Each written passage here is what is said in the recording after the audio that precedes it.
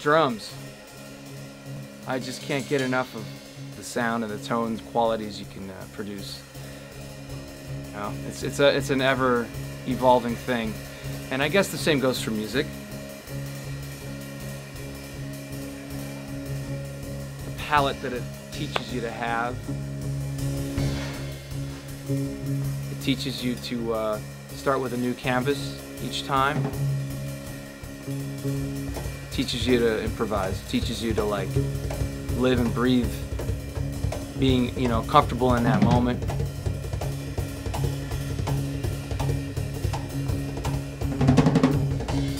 It teaches you also how to be uh, maybe a perfectionist with your writing and to, to compose something.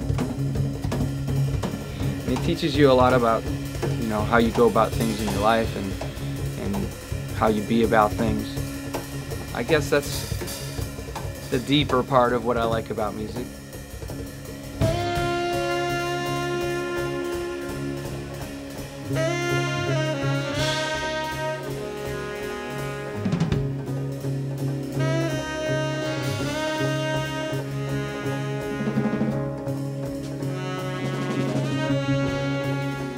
I think that Stickum was uh, put together between me and Bob Reynolds, the sax player uh, that's in the band, and he's fantastic. He's uh, he plays with John Mayer and he plays with a bunch of people, Snarky Puppy.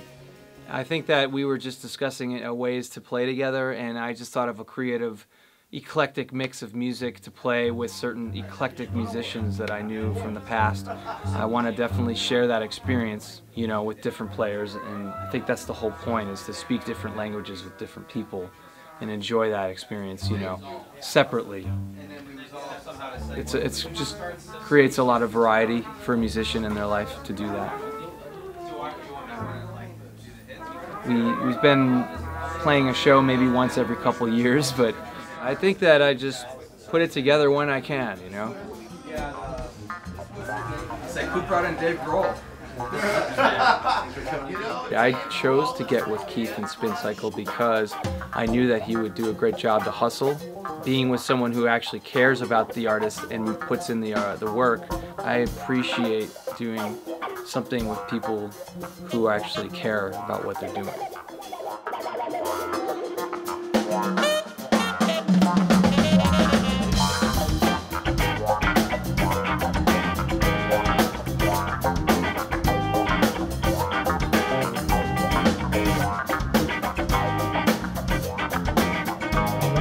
Gentlemen, how you guys doing out there tonight? Yeah!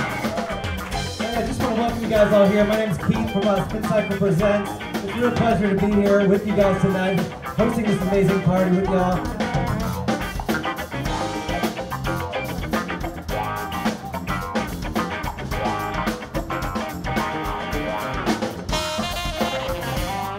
Very uh, relaxed vibe out here.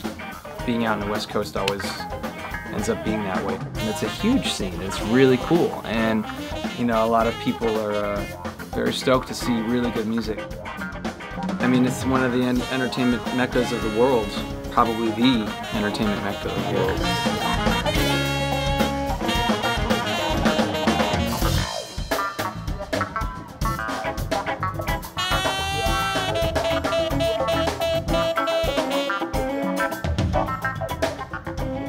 I think there's a lot of great new bands coming up, and and you know I'm I'm excited about you know seeing the variety of uh, styles, the, you know the the various genres that I'm seeing within the newer you know the newer jam band scenes. Uh, you know, like I think that I think it's just too safe to try to like do the cliched thing that some, something that has already been done over and over.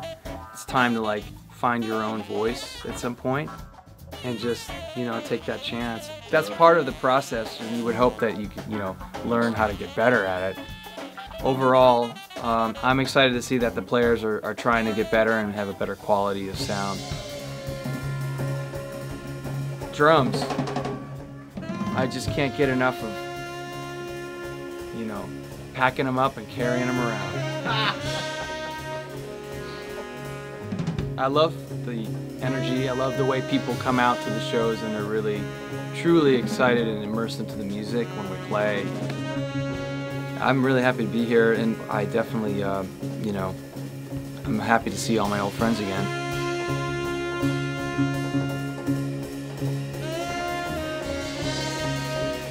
Whether it's a jam show or whether it's a, a funk show or jazz, it just feels right when you're working with the right people.